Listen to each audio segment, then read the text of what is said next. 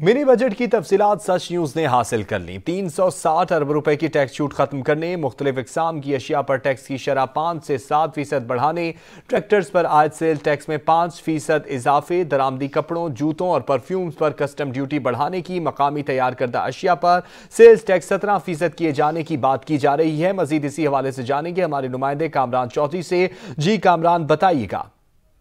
जी देखें, चौथे finance तरमीमी bill के जो अहम खदोखाल हैं, उनके मुताबिक टैक्स छूट जो है वो खत्म किए जा रही है। नए जाबियत जो है वो लागू होंगे। मोबाइल फ़ोन पर यकसा सत्रह फ़ीसद टैक्स आयद होगा। जितने मोबाइल फ़ोन में पहले पाँच से सात फ़ीसद टैक्स आया था, उनको भी सत्रह फ़ीसद पर ले जाया जाएगा। इसी तरह से सोने चांदी पर टैक्स एक फ़ीसद से बढ़ाकर सत्रह फ़ीसद किया जाएगा। ऑयल सीड की दरामद पर टैक्स जो है वो पाँच फ़ीसद से बढ़ाकर सत्रह फ़ीसद लागू होगा। माइनिंग के लिए दरामदी मशीनरी पर जो है वो सत्रह फ़ीसद नया टैक्स लगाया जाएगा।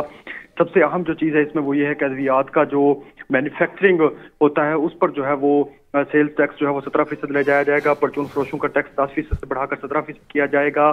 साशे में फरोख्त होने वाली एशिया का टैक्स आठ फ़ीसद से बढ़ाकर सत्रह फ़ीसद जो है वो करने की तैयारी की गई है। गैर सरकारी, गैर मुल्की सरकारी तोहफों और अतियात पर सत्रह फ़ीसद टैक्स लागू होगा। इसी तरह से कुदरती आफात के लिए जो माल वसूल किया जाता है, उस पर भी टैक्स लागू होगा। पोस्ट के ज़रिए पैकेट रसाल करने पर सत्रह फ़ीसद टैक्स होगा। दरामदी जानवरों और मुर्गियों पर सत्रह फ़ीसद टैक्स जो है वो लगाने की तैयारी की गई है। ज़रिए बीज, पौधों अलाद और केमिकल पर टैक्स जो है पाँच फ़ीसद से सत्रह फ़ीसद तक जो हो जाएगा।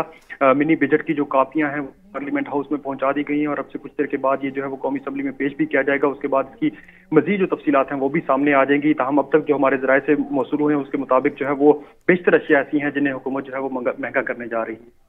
सही, आपने फरमाया बेशतर अशिया को महँगा करने की तजवीज़ दी जा रही है। एम क्यू एम ने तहफात ज़ाहिर किए हैं। आई टी के ऊपर टैक्स बढ़ा आई टी के जो मामला हैं, लैपटॉप वगैरह और इस तरह की बहुत सी चीज़ें, उनके ऊपर टैक्स बढ़ाने की भी बातें की जा रही हैं। इस हवाले से क्या अपडेट्स हैं?